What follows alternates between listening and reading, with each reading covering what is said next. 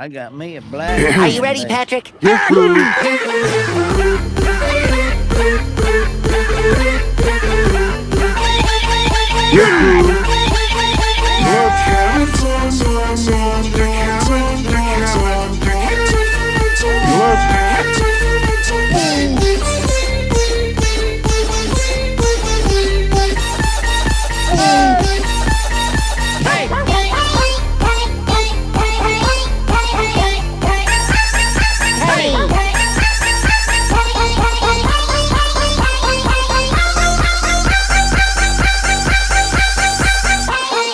Quiet, boy. They can't understand you.